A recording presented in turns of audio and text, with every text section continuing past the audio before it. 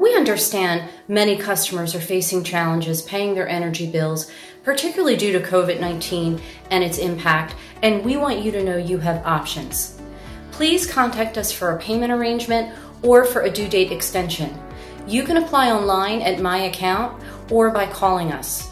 You may be eligible for assistance through the LIHEAP program, which can provide up to $1,000 in grant support depending on household income, size, type of fuel, and dwelling. No payback is required. In Delaware, LIHEAP has an energy crisis intervention program if you are facing disconnection of service or you're out of fuel.